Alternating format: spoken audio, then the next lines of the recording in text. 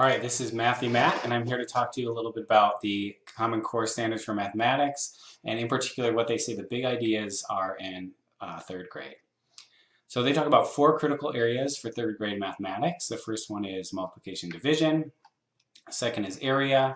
They talk about introductory fraction concepts, and finally thinking about shapes. We're going to start with multiplication division, and I'm just going to give a quick overview of sort of the big ideas or how we might think about these concepts and what we want kids to know. So there are lots of ways to think about multiplication, and I want to highlight three ways that are particularly important in third grade.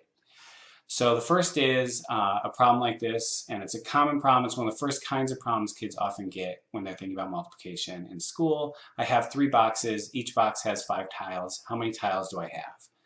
A strategy a lot of kids might use is to draw the three boxes. These are like three groups of things, and then each box has five tiles in it, which the kid might draw, and they might count by ones, or they might skip count 5, 10, 15.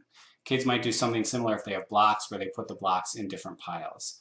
Um, so this is a problem. I'm going to push this strategy off to the side. This is a problem where, um, again, we have some groups and a certain amount of things in each group, and that's one of the most common ways to think about multiplication in the early grades. I want to talk about our second problem, which is I lay tiles in an array with three rows and five columns. How many tiles do I have? So we might draw a picture that looks something like this, and we might notice that each row has five tiles in it. So I can think of these as 5, 10, 15 again.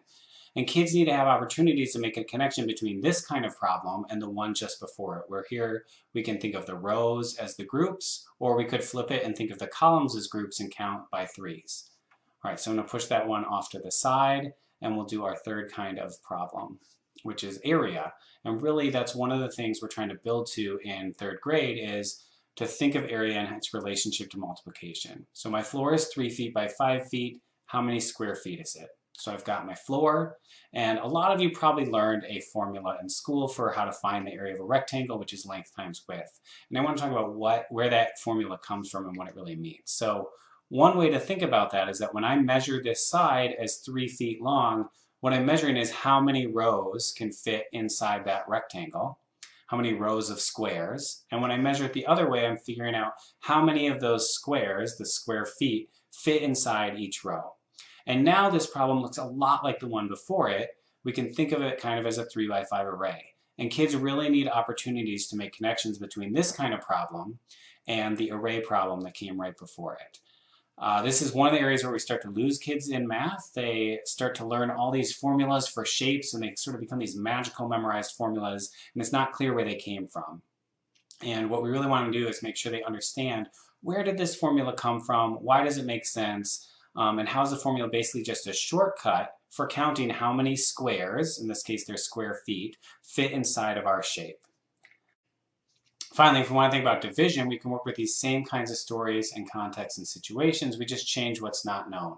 So for instance, in that first problem, I might say I have 15 tiles and I have three boxes and I want to put the tiles in each box equally. How would I do that? Um, so we can use these same problems, these same stories, and draw pictures and use blocks and manipulatives, and kids can work with both multiplication and division.